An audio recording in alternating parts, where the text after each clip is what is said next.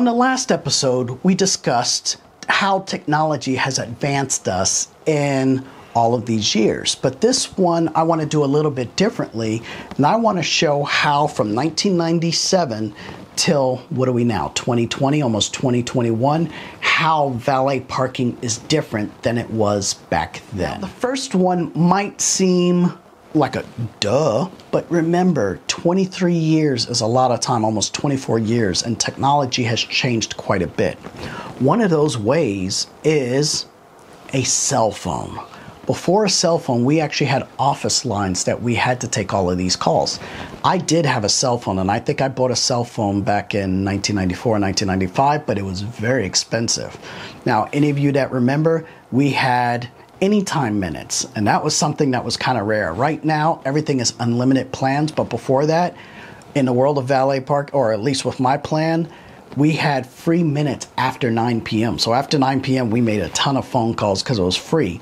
I remember I had a plan back in the day that the first 60 seconds were free. So if someone called me, I would talk really quick, and within 60 seconds, I would hang up because it was free. Beyond that, it went, it got more expensive than that, and we didn't really want to deal with that. So cell phones, which you just heard ding right now, those were luxuries that we didn't have before. And um, when I first hired valets, I had their home number and if they had the luxury, we had a um, they had a cell phone number, so we had a home number and a cell phone number. And a lot of our valets, like I'll give a shout out to Kenny, I still have Kenny's home phone number locked into my phone. Now, whether he still has a home phone or not, or just cell phone, because personally, even in my own household, I don't even have a home phone. I just have strictly cell phone, and I think that's the way it is across the board. So, cell phones were not around in the beginning, and that's a true advancement where we're at right now. I remember back in the day, I used to have to leave voicemails on people's home phones and hope that they give me a call when they got back from whatever they were doing. So that's a luxury that we have now that we didn't have back then. Now, the next luxury that we have now that we didn't have back then was email.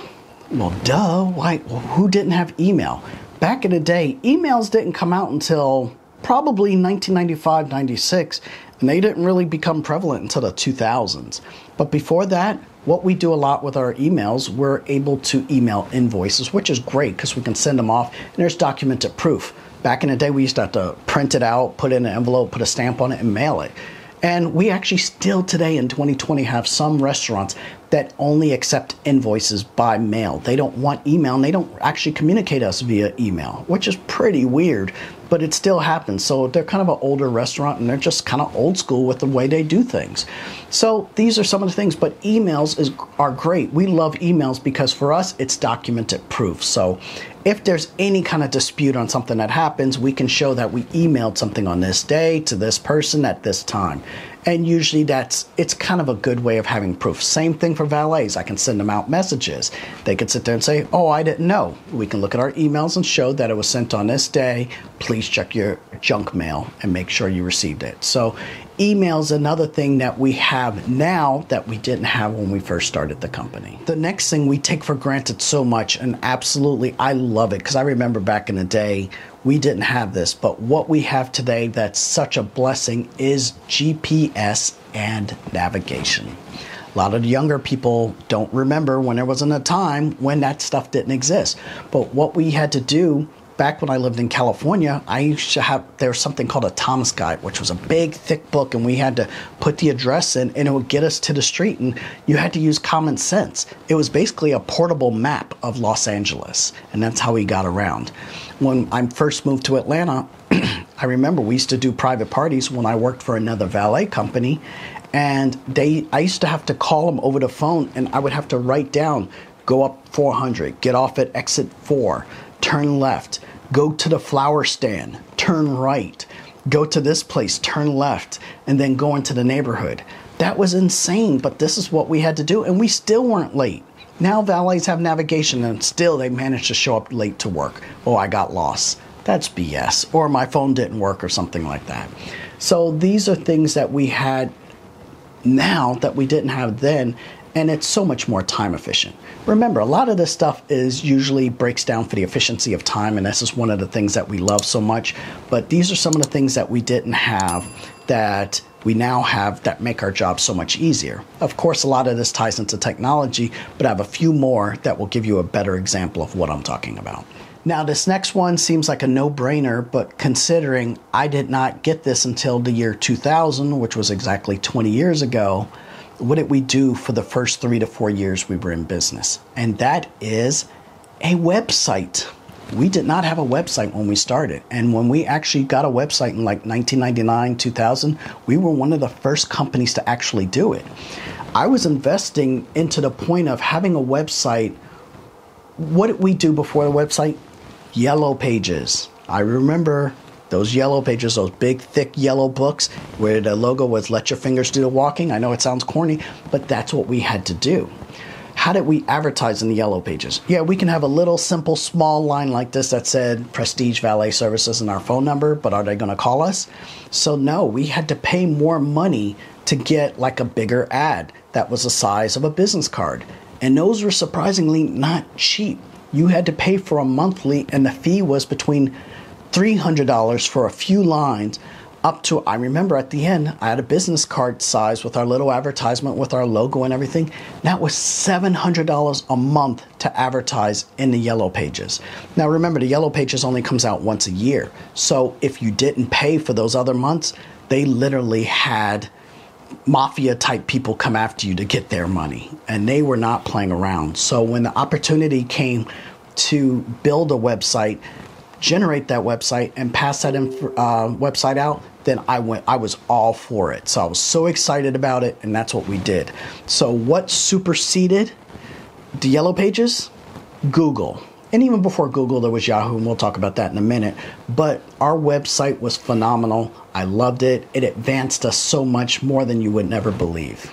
Now, the final one is going to be, as I just mentioned, Google slash Yahoo.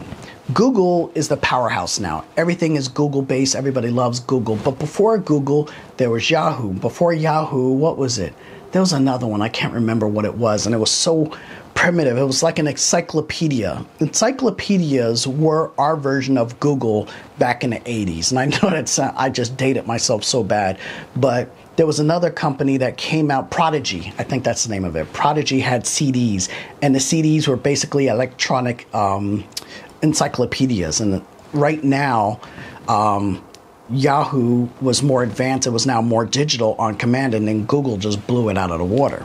So, Yahoo and Google were the companies in the early 2000s, I think, that started. Let me see. Okay, yeah, so I am correct. I had to check some data, but it was 2000 when Google came out. Now, here's a fun fact Yahoo was the powerhouse. Yahoo actually tried to buy Google for, I think, I think Google wanted five billion dollars, but I think Yahoo offered them three billion, and they said no. We think we're worth five billion. Today, Google is worth 870 billion dollars and Yahoo just got acquired by I think Verizon for like 4 billion. So it's just funny how the tables have turned. Yahoo's not really worth anything anymore and if they were able to pony up that extra money, they would be a powerhouse with Google. But that's kind of a fun fact. But Google we absolutely love. I cannot say much enough about it. Just like I said in my previous video, there was an example where the lady said her uh, screen went black inside of her BMW. I Googled it and it gave me the response that let me know that this was a common problem, and I had that answer in about 60 seconds. There was another case years ago where we broke a mirror on a Toyota Tundra. The mirror cost $1,000 because it was a brand new 1794 edition. So if I went to the dealership, it was going to cost $1,500 to replace it.